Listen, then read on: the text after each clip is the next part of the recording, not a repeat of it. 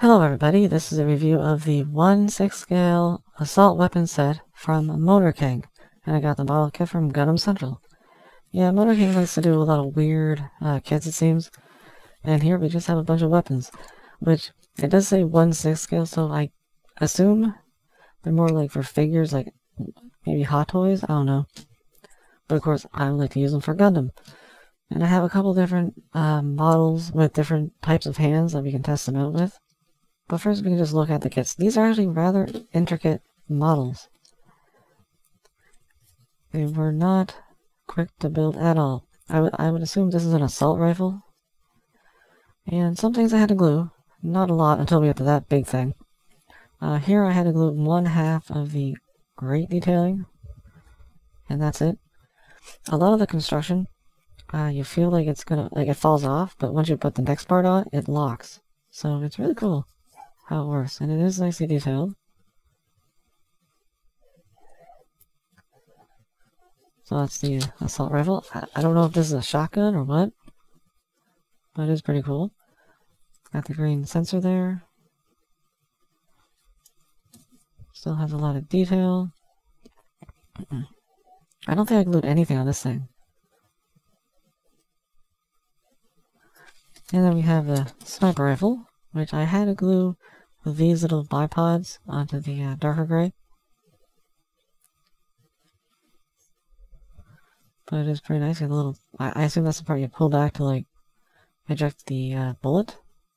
I don't really know. And then finally the BFG, which, oh boy, this is the one that has the LED, or would have the LED if I didn't break it, because I swear I followed the instructions to the letter and they tell you to first put the switch in here, in this part. The thing was, it wouldn't stay and it kept falling out, so I glued it, thinking, that's, that'll be nice and secure. It was. It's too secure because the next step is to take the battery pack and put it into the back here. But the thing is, the hole isn't big enough to feed the battery pack into the hole, this part here, in the back. And so, you have to put that in first and then feed the switch through the hole with the rest of the LEDs. But you can't because you do that first. So, yeah, I thought I tried to cut a hole to do it, but then I ended up wrecking the LED wire, and now it doesn't work. So yay. No light up feature. It would basically light up these parts here and uh, here. And I think that's it. Maybe the barrel. Still very intricate. Got some moving handles. Uh, I did have to glue a lot. Like I said, I have to glue these two halves together. The way they have the arrows, it reminds me of like the uh, GP-02 nuclear bazooka when it goes together. I like the, detail inside. It is cool, and it's also heavy. So there's going to be a lot of kits that won't work. They give you this attachment, which can go into a, like a peg into something, but I had to glue it because it just, it wouldn't stay. So you might be able to hook it to a backpack, maybe. So, now that we've looked at them, we can decide what hands would work best with these weapons. So we'll start at the beginning with the, because obviously 144 not really going to work. But for 100, the original 1.0 Master Grade hands, which don't really work because the fact that the hands don't really have much friction and also there's no extra articulation to get the hand out of the way of the arm. And because of these big stocks they don't really they don't really help. You can you can kind of do it but it's not going to stay for long. And this one has this big uh, clip on the on the bottom there which really doesn't help like, you could probably fudge it, but it's gonna look awkward. And the sniper rifle, pretty much the same thing, even worse, because of how, long the uh, back is.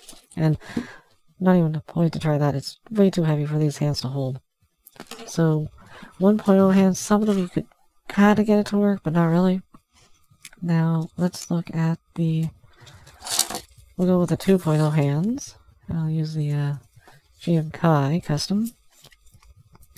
So, now they have the peg in the hand, but obviously that's not going to matter here. But they also have the wrist hinge, which might help. So, let's see what we can do. Maybe I should use something that's not so long.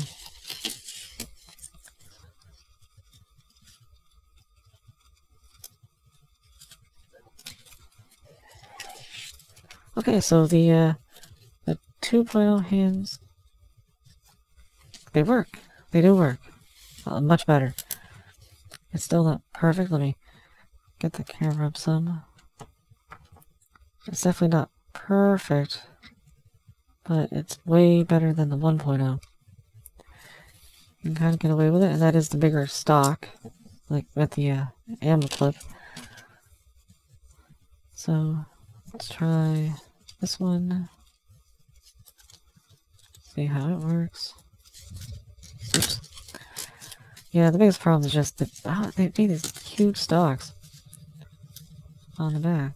Am I calling it right? I don't know.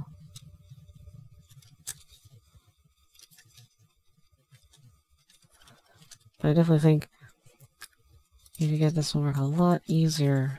Yeah, it's it's really annoying though. But I think you, you could do it. but uh Still, it, it could work better, but still kind of hard to work with. So let's try... I don't know what we call these. Like, I guess... Um... 2.5? Because they have the extra hinge in the uh, knuckle. So we can try these out. So if we get that in there. Have to get Guess I should have thought ahead. This isn't really gonna work. Gotta get rid of that first.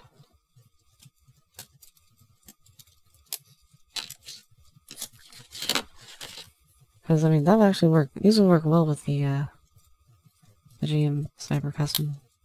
Well, at least the sniper rifle.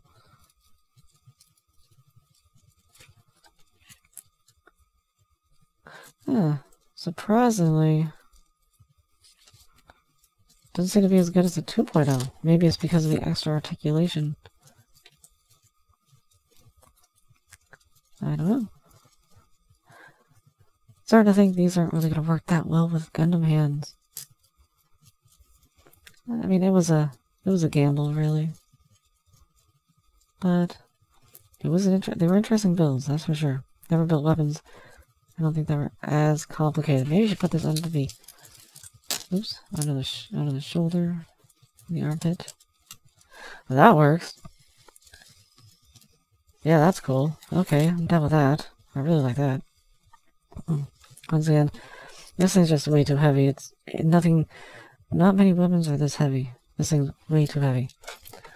Okay, so the 2.5 hands, or whatever you want to call them, which not a lot of models have, do work for some of them. But then, how about the um, swappable finger hands, like from Wing and Seed, and now Double O. Those ones, um, I don't know. Just because you don't have anywhere to move the fingers. So, now these fingers are specifically made for the Dynames with the pistols.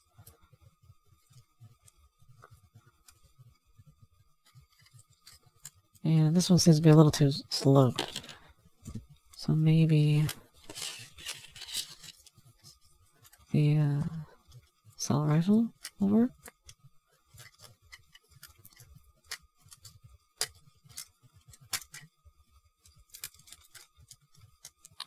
Well, that actually kind of works because the handle's not so sloped. It just kind of nudge it, like, nestles in between the, uh, the fingers.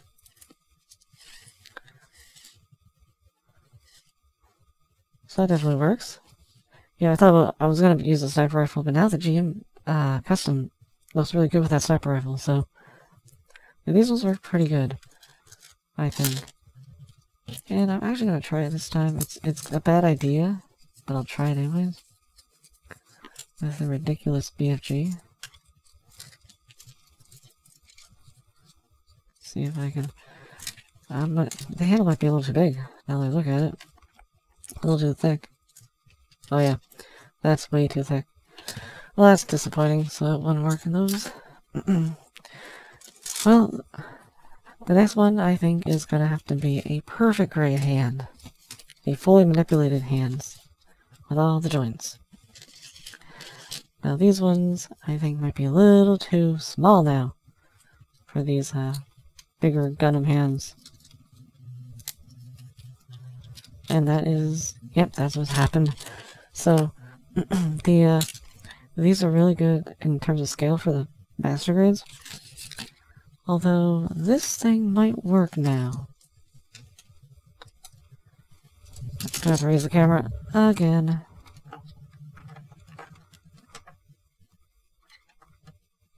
Alright, let's get you in shot there, RX-72. Alright, so let's try this. This is interesting.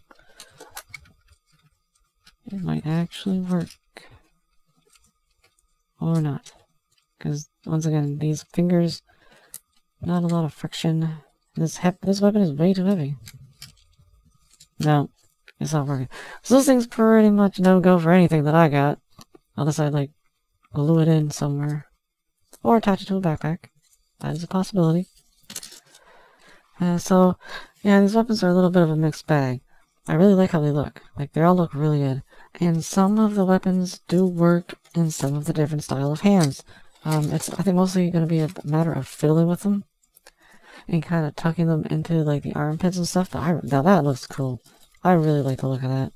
With the, uh, the GM Sniper. It would also look good in the Dynames hand, and I think it would also work with the Dynames hand. But, the, uh, the Dynames could work with uh, these ones, just because, like, this one was the one that was too long, but straighter ones work with the, uh, uh, not, like, the swappable finger hands. So, I'm thinking the best might be the 2.5 hands, the ones that have the extra knuckle. But once again, not a lot of kits have those. It's. Uh, so, I guess you, they do work on some kits, but you gotta fight with it a little bit.